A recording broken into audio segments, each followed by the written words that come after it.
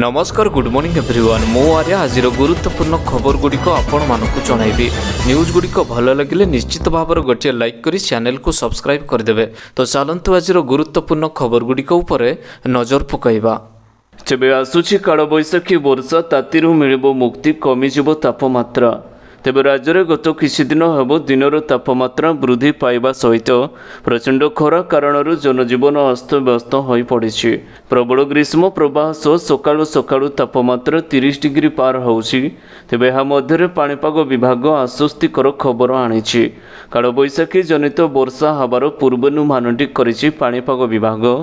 ଆସନ୍ତା ଏକୋଇଶ ଏବଂ ବାଇଶ ତାରିଖରେ କାଳବୈଶାଖୀ ପ୍ରଭାବ ହେତୁ ଏକୋଇଶ ତାରିଖରୁ ଚବିଶ ତାରିଖ ମଧ୍ୟରେ ରାଜ୍ୟର ଅନେକ ସ୍ଥାନରେ ଦିନର ତାପମାତ୍ରା ଦୁଇରୁ ତିନି ଡିଗ୍ରୀ ହ୍ରାସ ପାଇବାର ସମ୍ଭାବନାଟି ରହିଛି।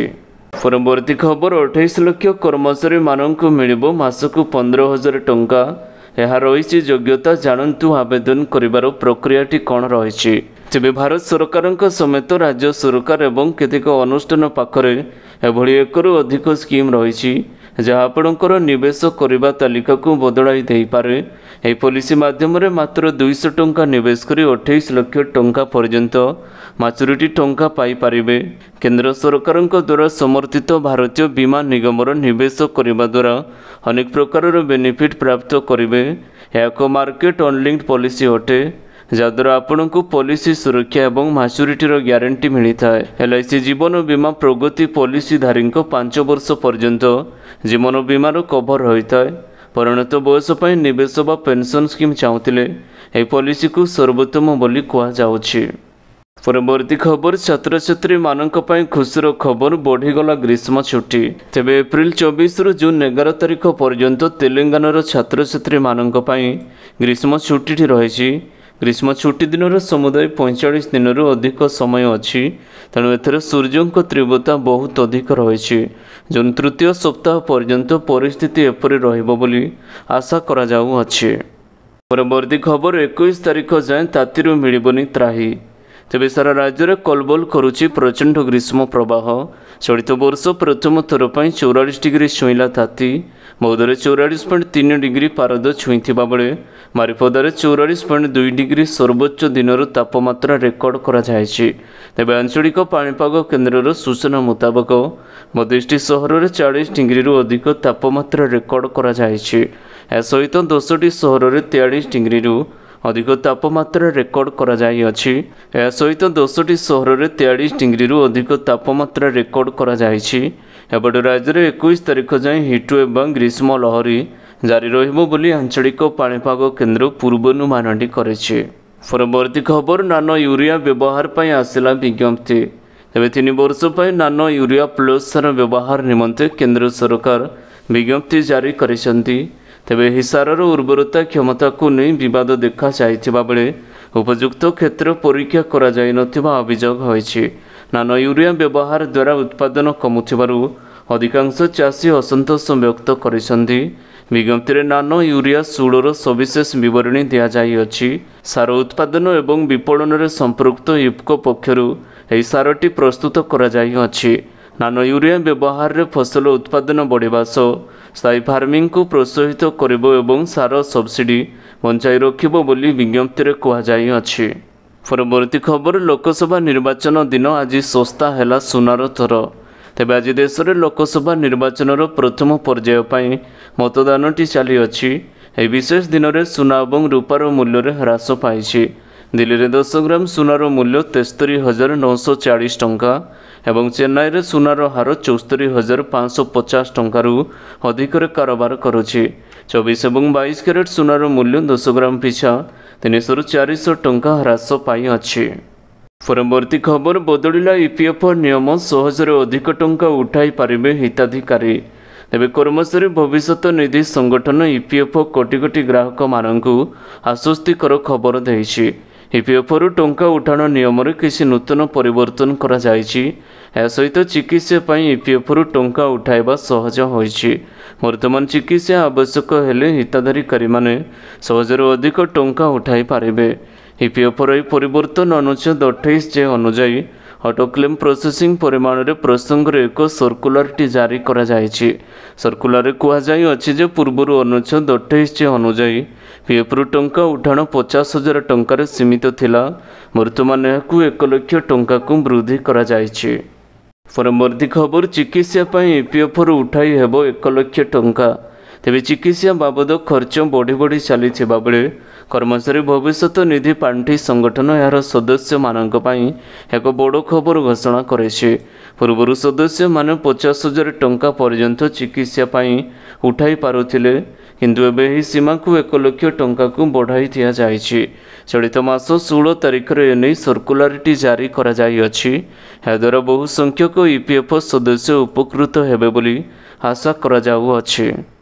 ପରବର୍ତ୍ତୀ ଖବର ମହାନଦୀରେ ଡଙ୍ଗା ବୁଡ଼ି ଦୁଇ ଜଣଙ୍କର ମୃତ୍ୟୁ। ତେବେ ମହାନଦୀରେ ଡଙ୍ଗା ବୁଡ଼ି ଦୁଇ ଜଣଙ୍କର ମୃତ୍ୟୁ ହୋଇଥିବା ବେଳେ ପାଞ୍ଚ ଜଣ ନିଖୋଜ ରହିଛନ୍ତି। ଚାଳିଶ ଜଣଙ୍କୁ ସୁରକ୍ଷିତ ଉଦ୍ଧାର କରାଯାଇଛି। ଏଭଳି ଏକ ଘଟଣା ଝାରସୁଗୁଡ଼ା ଜିଲ୍ଲା ଲକ୍ଷ୍ନୌପୁରଠାରେ ଘଟିଅଛି। ଅନ୍ୟପଟେ ଝାରସୁଗୁଡ଼ା ଜିଲ୍ଲା ଲକ୍ଷ୍ନୌପୁର ସୋରଧାରେ ମହାନଦୀରେ ନୌକା ଦୁର୍ଘଟଣାରେ ଦୁଇ ଜଣ ବ୍ୟକ୍ତି ପ୍ରାଣ ହରାଇଥିବା ଖବର ପାଇଁ ମୁଖ୍ୟମନ୍ତ୍ରୀ ନବୀନ ପଟ୍ଟନାୟକ ଗଭୀର ଦୁଃଖ ପ୍ରକାଶ କରିଛନ୍ତି। ଶୋକସନ୍ତପ୍ତ ପରିବାରବର୍ଗଙ୍କୁ ଗଭୀର ସମ୍ବେଦନା ଜଣାଇବା ସହ ମୃତ ବ୍ୟକ୍ତିଙ୍କ ନିକଟତମ ଆତ୍ମୀୟଙ୍କ ନିମନ୍ତେ ଚାରି ଲକ୍ଷ ଟଙ୍କା ଲେଖାଏଁ ଅନୁକମ୍ପାମୂଳକ ସହାୟତା ଘୋଷଣା କରିଛନ୍ତି। ପରବର୍ତ୍ତୀ ଖବର ଲୋକସଭା ନିର୍ବାଚନ ପ୍ରଥମ ପର୍ଯ୍ୟାୟରେ ମତଦାନ ହାର କମିଲା। ବେଙ୍ଗଲରେ ସର୍ବାଧିକ ଅଧିକ ଭୋଟିଂ। ଏବେ ଗଣତନ୍ତ୍ରର ମହାପର୍ବ ନିର୍ବାଚନ। ଆଉ ଭାରତରେ ଆଜିଠାରୁ ଆରମ୍ଭ ହୋଇଛି ମତଦାନ। ସାତଟି ପର୍ଯ୍ୟାୟରେ ମୋଟ ପାଞ୍ଚଶହ ତେୟାଳିଶ ଲୋକସଭା ଆସନ ପାଇଁ ଭାରତବାସୀ ଭୋଟ ଦେବେ। ଏହି କ୍ରମରେ ଆଜି ପ୍ରଥମ ପର୍ଯ୍ୟାୟରେ ଏକୋଇଶଟି ରାଜ୍ୟ ଏବଂ କେନ୍ଦ୍ରଶାସିତ ଅଞ୍ଚଳର ଶହେ ଦୁଇଟି ଆସନ ପାଇଁ ମତଦାନ ଶେଷ ହୋଇଛି। ଆଠ କେନ୍ଦ୍ରମନ୍ତ୍ରୀଙ୍କ ସମେତ ବହୁ ହିଟୋଙ୍କ ଭାଗ୍ୟ ଏବେ ଇଭିଏମ୍ରେ ସିଲ୍ ହୋଇଯାଇଅଛି ପରବର୍ତ୍ତୀ ଖବର ପାଞ୍ଚ ହଜାର କର୍ମଚାରୀଙ୍କୁ ଛଟେଇ କଲା ତୋଷିବା ଜାଣନ୍ତୁ କାହିଁକି କମ୍ପାନୀର ପୁନଃ ବ୍ୟବସ୍ଥିତ କରିବା ପାଇଁ ଏହି ନିଷ୍ପତ୍ତି ନିଆଯାଇଛି। ଏହି ସଂଖ୍ୟା କମ୍ପାନୀର ମୋଟ କର୍ମଚାରୀଙ୍କ ମଧ୍ୟରୁ ଦଶ ପ୍ରତିଷ୍ଠା ଅଟେ। ଏହି ପୁନର୍ନିର୍ମାଣ ପ୍ରକ୍ରିୟାରେ କମ୍ପାନୀ ଶହେ ବିଲିୟନ ୟେନ୍ ଛଅଶହ ପଚାଶ ମିଲିୟନ ଡଲାର ଖର୍ଚ୍ଚ କରିବ। ଏହିପରି ଗୁରୁତ୍ୱପୂର୍ଣ୍ଣ ନିଷ୍ପତ୍ତି ଚାଲୁଥିବା ଆର୍ଥିକ ଆହ୍ୱାନରେ ତୋଷିବାର ପ୍ରତିକ୍ରିୟାକୁ ପ୍ରତିଫଳିତ କରେ। ଆକାଉଣ୍ଟିଂର ଅନିୟମିତତା ପାଇଁ ଜରିମାନା ଏବଂ ଏହାର ଆଣବିକ ବିଦ୍ୟୁତ୍ ଉତ୍ପାଦନ ଉଦ୍ୟୋଗରୁ ହୋଇଥିବା କ୍ଷତିପୂରଣ ପାଇଁ ଏହାର ମେମୋରି ଚିପ୍ ୟୁନିଟ୍ ବିକ୍ରୟ କରିବାର ଆବଶ୍ୟକତା ସହିତ ଉନ୍ନତ କାରଣ ଦ୍ୱାରା ଏହି ଆହ୍ୱାନଗୁଡ଼ିକ ବୃଦ୍ଧି ପାଇଛି। ପରବର୍ତ୍ତୀ ଖବର ଏପ୍ରିଲ ବାଇଶ ତାରିଖରୁ ସମସ୍ତ ସ୍କୁଲ ଛୁଟି। ତେବେ ରାଜ୍ୟର ଅତ୍ୟଧିକ ଉତ୍ତାପ୍ତ ପରିସ୍ଥିତିକୁ ଦୃଷ୍ଟିରେ ରଖି ପଶ୍ଚିମବଙ୍ଗ ସରକାର ବାଇଶ ଏପ୍ରିଲରୁ ସରକାରୀ ଏବଂ ସରକାରୀ ସହାୟତା ପ୍ରାପ୍ତ ବିଦ୍ୟାଳୟରେ ଗ୍ରୀଷ୍ମ ଛୁଟି ଘୋଷଣା କରିଛନ୍ତି। ବିଦ୍ୟାଳୟ ଶିକ୍ଷା ବିଭାଗ ଗୁରୁବାର ଏପ୍ରିଲ ଅଠର ଦ୍ୱାରା ଜାରି କରାଯାଇଥିବା ବିଜ୍ଞପ୍ତିରେ କୁହାଯାଇଅଛି ଏହି ସମୟ ମଧ୍ୟରେ ବିଦ୍ୟାଳୟ ବ୍ୟତୀତ ଶିକ୍ଷକ ଏବଂ ଅଣଶିକ୍ଷକ କର୍ମଚାରୀ ମଧ୍ୟ ଛୁଟିରେ ରହିବେ। ତେବେ ଲୋକସଭା ନିର୍ବାଚନକୁ ଦୃଷ୍ଟିରେ ରଖି ସମ୍ପୃକ୍ତ ନିର୍ବାଚନ ଅଧିକାରୀଙ୍କ ନିର୍ଦ୍ଦେଶ ମଧ୍ୟ ସେମାନଙ୍କ ପାଇଁ ପ୍ରଯୁଜ୍ୟ ହେବ।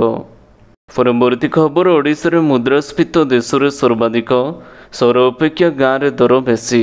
ତେବେ ଦେଶର ବିଭିନ୍ନ ରାଜ୍ୟ ତଥା କେନ୍ଦ୍ରଶାସିତ ଅଞ୍ଚଳ ମଧ୍ୟରେ ଓଡ଼ିଶାର ମୁଦ୍ରାସ୍ଫୀତ ହାର ସର୍ବାଧିକ ଅଧିକ ରହିଛି ରିପୋର୍ଟ ଅନୁସାରେ ମାର୍ଚ୍ଚ ମାସରେ ଅନ୍ୟ ଅଞ୍ଚଳ ତୁଳନାରେ ଓଡ଼ିଶାର ମୁଦ୍ରାସ୍ଫୀତ ହାର ସର୍ବାଧିକ ସାତ ପଏଣ୍ଟ ଏକ ପରସେଣ୍ଟ ରହିଥିଲା। ସବୁଠାରୁ ବଡ଼ କଥା ହେଉଛି କି ଓଡ଼ିଶାର ସହରାଞ୍ଚଳ ଅପେକ୍ଷା ଗ୍ରାମାଞ୍ଚଳରେ ମୁଦ୍ରାସ୍ଫୀତ ହାର ବେଶୀ ରହିଛି।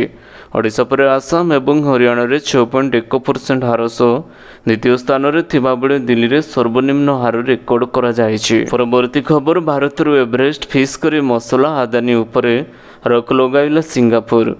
ତେବେ ଭାରତର ଚର୍ଚ୍ଚିତ ମସଲା ବ୍ରାଣ୍ଡ ଏଭରେଷ୍ଟ ଫିସ୍ କରି ଉପରେ ପ୍ରତିବନ୍ଧକ ଲଗାଇଅଛି ସିଙ୍ଗାପୁର।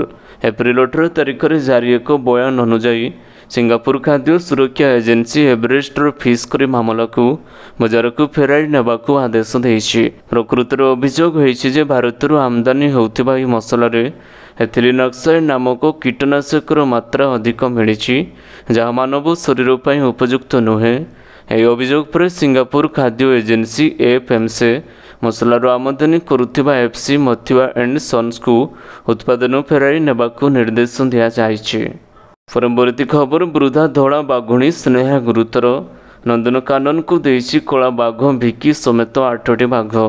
ତେବେ ନନ୍ଦନକାନନ ପ୍ରାଣୀ ଉଦ୍ୟାନର ଅନ୍ୟତମ ଆକର୍ଷଣ ଧଳା ବାଘୁଣୀ ସ୍ନେହା ଗୁରୁତର ହୋଇପଡ଼ିଛି ଅର୍ଥାତ୍ ଅସୁସ୍ଥ ହୋଇପଡ଼ିବା ପରେ ତାହାକୁ ଚିକିତ୍ସା କେନ୍ଦ୍ରକୁ ଅଣାଯାଇଛି।